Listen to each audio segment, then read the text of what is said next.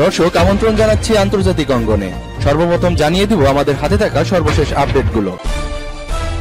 পাল্টা হামলা চালাতে যেভাবে অস্ত্র সাজায় হামাস জানিয়ে দিব তার বিস্তারিত। এদিকে জঙ্গলে পুলিশের সঙ্গে বন্দুকযুদ্ধে তেরো মাওবাদী নিহত। আরও থাকছে ব্ল্যাকের মধ্যে হোয়াইট ফাঙ্গাস কোনটি বেশি বিপজ্জনক তার বিস্তারিত। এদিকে নতুন ড্রোন উন্মোচন করল ইরান, নাম দিয়েছে গাজা।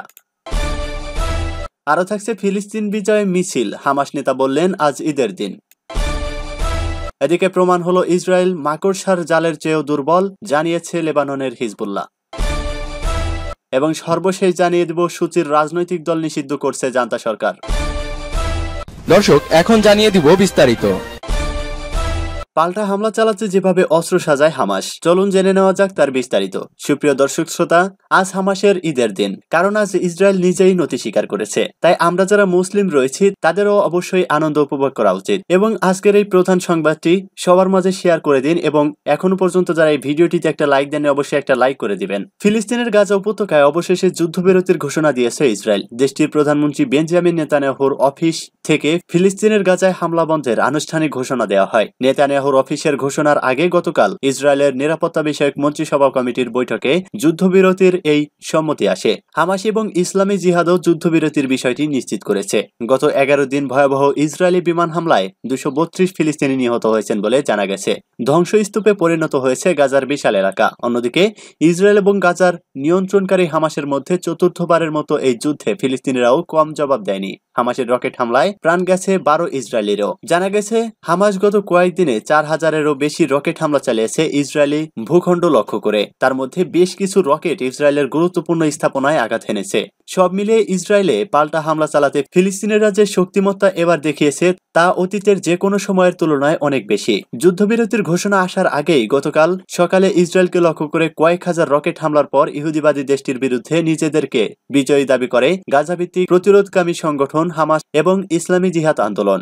এ হামলার পর হামাসের উপপ্রধান মুসা আবু মারজুক এক সাক্ষাৎকারে বলেন, আগামী এক বা দুই দিনের মধ্যে আমরা একটি যুদ্ধবিরতিতে পৌঁছানোর আশা করছি। হামাস এবং জিহাদ আন্দোলনের পাল্টা আক্রমণ আমেরিকার অবস্থান পরিবর্তনে বাধ্য করেছে। গাজা থেকে প্রতিরোধ আন্দোলনগুলো ইসরায়েলি আগ্রাসনের জবাবে চার হাজার রকেট ছুড়েছে। হামাস এবং হিজবুলার পাল্টা জবাবের মুখে আমেরিকা ইসরায়েলি নেতাদের হামলা কমানোর জন্য চাপ সৃষ্টি করেছে। এদিকে গত হামাসের সামরিক শাখা ইজাদ্দিন কাশাম ব্রিগেডের মুখপাত্র আবু ওবায়দা জানিয়েছেন ইসরায়েলের দক্ষিণাঞ্চলের রামুন বিমানবন্দরের মধ্যপাল্লার ক্ষেপণাস্ত্র আয়াস এর সাহায্যে হামলা চালানো হয়েছে। গাজা থেকে বিমানবন্দরটির দূরত্ব দুইশো কিলোমিটার। সেখানে দুইশো কিলোমিটার পাল্লার ক্ষেপণাস্ত্রের সাহায্যে আঘাত হানা হয়েছে। ইসরায়েলের ক্ষেপণাস্ত্র প্রতিরক্ষা ব্যবস্থা আয়রন ডোম এটিকে আটকাতে ব্যর্থ হয়েছে। ক্ষেপণাস্ত্রটি ইসরায়েলের যে কোনো স্থানে হামলা করতে সক্ষম। হামাসের রাজনৈতিক ব্যুরোর উপপ্রধান সালে আল বারোই জানান, আমরা ইসরায়েলে এ পর্যন্ত যেসব ক্ষেপণাস্ত্র ব্যবহার করেছি, তার সবগুলোই পুরনো। আমাদের মূল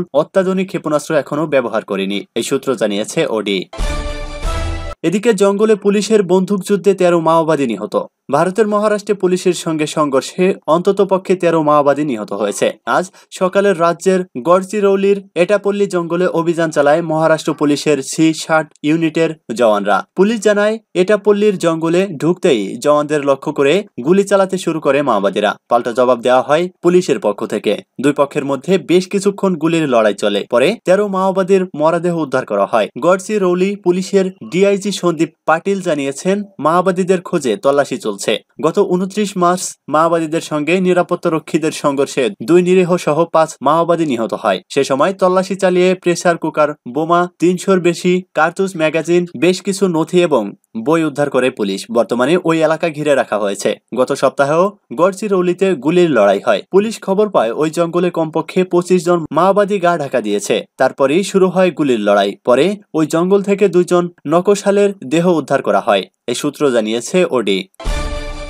এদিকে ব্ল্যাকের মধ্যে হোয়াইট ফাঙ্গাস কোনটি বেশি বিপজ্জনক চলুন জেনে নেওয়া যাক তার বিস্তারিত। করোনা ভাইরাসে বিপর্যস্ত ভারতে ব্ল্যাক ফাঙ্গাসকে নতুন মহামারী ঘোষণা করা হয়েছে। তবে এর মধ্যে সাদা ফাঙ্গাস নামে নতুন একটি ছত্রাকে আক্রান্ত হতে শুরু করেছে দেশটির বহু মানুষ। দেশটির পাটনা বিহারের সাদা ফাঙ্গাসের সংক্রমণ দেখা গেছে। আর সেই সংক্রমণ ব্ল্যাক ফাঙ্গাসের চেয়ে বেশি বিপজ্জনক বলে মনে করছেন বিশ্লেষকরা। ভারতের পরশ হাসপাতালের সিনিয়র কনসালটেন্ট এবং রেসপাইরেটরি মেডিসিনের প্রধান ডক্টর অরুণেশ কুমার সাদা ফাঙ্গাসের সংক্রমণকে বেশি বিপজ্জনক বলে মনে করছেন। ইন্ডিয়ান এক্সপ্রেসের কাছে এর কারণও ব্যাখ্যা করেছেন তিনি। সাদা ফাঙ্গাস কেমন হয়? ডক্টর অরুণেশ কুমার জানান, এই সংক্রমণ হতে পারে কম প্রতিরোধ ক্ষমতার জন্য। এছাড়া মানুষ এই ফাঙ্গাসের বাহকের সংস্পর্শে আসলে আক্রান্ত হতে পারেন। সে কারণে পরিষ্কার পরিচ্ছন্ন থাকা গুরুত্বপূর্ণ বলে মনে করেন ওই চিকিৎসক। চিকিৎসকেরা বলছেন, সাদা ফাঙ্গাসের রোগীদের, করোনা রোগীদের মতো লক্ষণ দেখা যেতে পারে। আবার দেখা গেল পরীক্ষেও তাদের করোনা ধরা পড়ছে না। সাদা ফাঙ্গাসের সংক্রমণ কেবলমাত্র সিটি স্ক্যান বা এক্স রেতেই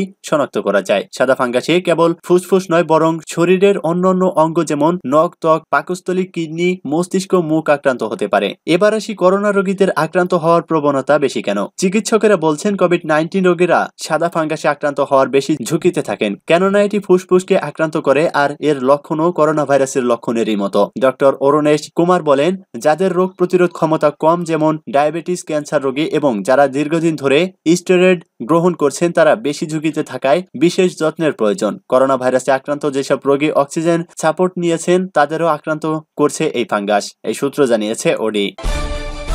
এদিকে নতুন ড্রোন উন্মোচন করল ইরান, নাম দিয়েছে গাজা। ইসলামী প্রজাতন্ত্র ইরান আজ বিশাল আকারের নতুন ড্রোন উন্মোচন করেছে। এর নাম দেওয়া হয়েছে গাজা। ফিলিস্তিনের অবরুদ্ধ গাজা উপত্যকার নামে এটির নামকরণ করা হয়েছে। ইরানের ইসলামী বিপ্লবী গার্ড বাহিনী বা আইআরজিসির এয়ারোস্পেস ফোর্সের প্রধান brigadier general Amir Ali Hajizadeh বলেছেন, বড় আকৃতির কৌশলগত ড্রোন গাজা উন্মোচনের মধ্য দিয়ে দেশের ড্রোন শক্তি আরও অনেক বেড়ে গেছে। তিনি আরও বলেন, এই ড্রোন একটানা পঁয়ত্রিশ ঘণ্টা আকাশে উঠতে পারবে। পঁয়ত্রিশ হাজার ফুট উপর দিয়ে গিয়ে পাঁচশো কিলোমিটার দূরে লক্ষ্যবস্তু পর্যবেক্ষণের পাশাপাশি আঘাত হানতে পারবে। গাজার ড্রোন একসঙ্গে তেরোটি বোমা বহন করতে পারে। আগামী কয়েক মাসের মধ্যেই এই ড্রোনের কয়েকটি পরীক্ষা সম্পন্ন করে তা সামরিক বাহিনীতে যুক্ত করা হবে বলে তিনি জানান। গাজায় ইসলামী প্রতিরোধ আন্দোলনের যোদ্ধাদের শর্ত মেনে দখলদার ইসরায়েল যুদ্ধ বন্ধ করার দিনই ইরান গাজা নামের এই ড্রোন উন্মোচন করল। ইরান প্রথম থেকেই ফিলিস্তিনের প্রতিরোধ সংগ্রামের প্রতি সর্বাত্মক সমর্থন ও সহযোগিতা দিয়ে আসছে এই সূত্র জানিয়েছে পার্স টুডে। এদিকে ফিলিস্তিনে বিজয় মিছিল হামাস নেতা বললেন, আজ ঈদের দিন। মিশরের মধ্যস্থতায় ইহুদিবাদী ইসরায়েল ও ইসলামী প্রতিরোধ আন্দোলন হামাসের মধ্যকার যুদ্ধবিরতি চুক্তির পর ফিলিস্তিনের সর্বত্র বিজয় মিছিল হয়েছে। এগারো দিনের রক্তক্ষয়ী যুদ্ধের পর গতকাল দিবাগত রাত দুইটা থেকে যুদ্ধবিরতি কার্যকর হয়। যুদ্ধবিরতি চুক্তি কার্যকরের পরপরই গাজা, পূর্ব জেরুজালেম সহ ফিলিস্তিনের বিভিন্ন শহরের মানুষ রাস্তায় নেমে আসেন। এ সময় মহান আল্লাহর প্রতি কৃতজ্ঞতা প্রকাশ করে নানা স্লোগান দেন। আতশবাজিতে আলোকিত হয়ে ওঠে আকাশ। বিভিন্ন গণমাধ্যম ও সামাজিক মাধ্যমে ছড়িয়ে পড়া ভিডিওতে দেখা যায়, হামাসের নেতারা বিজয় ভাষণ শুরু করেন ঈদের খুতবা দিয়ে। মঞ্চের সামনে দাঁড়িয়ে থাকা জনতাদের মুখে ঈদের তাকবির দিতে শোনা যায়। গাজা উপত্যকা হামাসের রাজনৈতিক ব্যুরোর দ্বিতীয় সর্বোচ্চ নেতা খলিল আল হাইয়া তার ভাষণের শুরুতেই তাকবির দেন। আল্লাহ আকবার আল্লাহ আকবার, লা ইলাহা ইল্লাল্লাহ, আল্লাহ আকবার, ওয়াইল্লাহিল হাম এরপর সমাবেত জনতার উদ্দেশ্যে তিনি বলেন, আজ আমাদের বিজয়ের ঈদ। হেরব আপনার প্রতি কৃতজ্ঞতা জানাই। আপনি আমাদের শত্রুদের পরাজিত করে আমাদের জনগণকে বিজয় দিয়েছেন। আল কুদসকে বিজয় করেছেন। শেখ জাররাকে বিজয় করেছেন, সকল স্থানের জনগণকে বিজয় দান করেছেন। ইহুদিবাদী ইসরায়েলের মন্ত্রিসভা গাজায় যুদ্ধবিরতি প্রতিষ্ঠা করার বিষয়টি মেনে নিতে বাধ্য হয়। ওই মন্ত্রিসভা বলছে, তারা যুদ্ধবিরতির ব্যাপারে মিশরীয় প্রস্তাব মেনে নিয়েছে। গাজায় হামলা বন্ধের পাশাপাশি আল আকসা মসজিদ ও শেখ জাররা এলাকা থেকে সেনা সরিয়ে নেওয়ার প্রতিশ্রুতি দিয়েছে ইসরায়েল। হামাসের পলিটিক্যাল ব্যুরোর প্রধান, গণমাধ্যম বিষয়ক উপদেষ্টা তাহের আল নুনু গাজায় সাংবাদিকদের বলেছেন, তেল আবিব যতক্ষণ পর্যন্ত শর্ত মেনে চলবে ততক্ষণ পর্যন্ত হামাসও যুদ্ধবিরতি বাস্তবায়ন করবে। গত সতেরো মে, পবিত্র মাহে রমজানের শেষ শুক্রবার বিশ্ব কুদস দিবসে বিপুল মুসল্লি আল আকসা মসজিদে সমবেত হলে ইসরায়েলি বাহিনী তাদের হামলা চালায়। মসজিদে ঢুকে মুসল্লিদের লক্ষ্য করে রাবার বুলেট ও টিয়ার সেল নিক্ষেপ করে বর্বর ইসরায়েলি বাহিনী। এরপর পাল্টা ফিলিস্তিনিরা রকেট ও ক্ষেপণাস্ত্র নিক্ষেপ করে কঠোর প্রতিরোধ গড়ে তোলেন। তীব্র প্রতিরোধের মুখে অবশেষে যুদ্ধবিরতি চুক্তিতেই সই করতে বাধ্য হয় দখলদার ইসরায়েলি বাহিনী। সুপ্রিয় দর্শক শ্রোতা এতে যদি আপনি আনন্দিত হয়ে থাকেন, তাহলে প্লিজ এই ভিডিওটিতে একটা লাইক দিন এবং ভিডিওটি শেয়ার করে বিশ্ববাসীর কাছে তথ্যটি জানিয়ে দিন।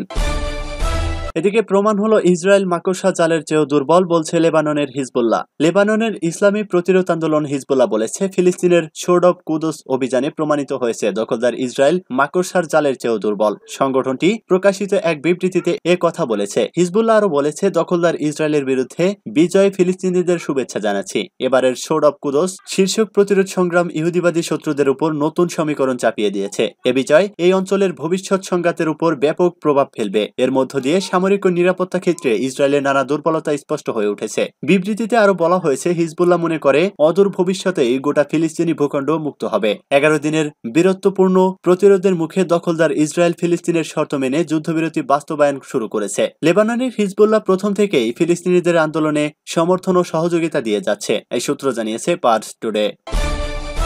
এবং সর্বশেষ জানিয়ে দিচ্ছি, সূচির রাজনৈতিক দল নিষিদ্ধ করছে জান্তা। মায়ানমারের গণতন্ত্রপন্থী কারাবন্দী নেত্রী সূচির রাজনৈতিক দল ন্যাশনাল লীগ ফর ডেমোক্রেসির নিবন্ধন বাতিলে পদক্ষেপ নিতে যাচ্ছে ক্ষমতাসীন জান্তা। দেশটির স্থানীয় গণমাধ্যম মিয়ানমার টুডের বরাদ দিয়ে এক প্রতিবেদনে এ তথ্য জানিয়েছে বার্তা সংস্থা রয়টার্স। মিয়ানমারের নির্বাচন কমিশনের চেয়ারম্যান থেইনশোয়ে আজ মিয়ানমার টুডে দেওয়া এক ভাষণে বলেন, এনআইডির বিরুদ্ধে নির্বাচনে কারুচুপি করার অভিযোগ রয়েছে। সরকারের তদন্তে এই অভিযোগের সত্যতাও পাওয়া গেছে। যেহেতু আইন অনুযায়ী এই ধরনের কর্মকাণ্ড অবৈধ, তাই আমরা এনএলডির নিবন্ধন বাতিল করতে যাচ্ছে। মিয়ানমার টুডের প্রতিবেদনে বলা হয়েছে, গতকাল জান্তা সরকার দেশের সবগুলো রাজনৈতিক দলের প্রতিনিধিদের সঙ্গে মত বিনিময় সভার আয়োজন করেছিল। ওই সভায় উপস্থিত থাকতে সবগুলো রাজনৈতিক দলকে চিঠিও দেওয়া হয়েছিল সরকারের পক্ষ থেকে। কিন্তু দেশটির সামরিক বাহিনী সমর্থিত রাজনৈতিক দল union, solidarity and development party ও আরও দু একটি রাজনৈতিক দল ছাড়া মিয়ানমারের সক্রিয় সব রাজনৈতিক দল সেই সভা বর্জন করে। গতকাল ওই মত বিনিময় সভাতেই এই সিদ্ধান্ত নেওয়া হয়েছে বলে সূত্রের বরাত দিয়ে জানিয়েছে মিয়ানমার টুডে। এই সূত্র জানিয়েছে ওডি। আজকের মতো এখানেই শেষ করছি। সবার আগে সর্বশেষ সংবাদ জানতে আমাদের চ্যানেলটি এখনই সাবস্ক্রাইব করে রাখুন। ধন্যবাদ এতক্ষণ সাথে থাকার জন্য।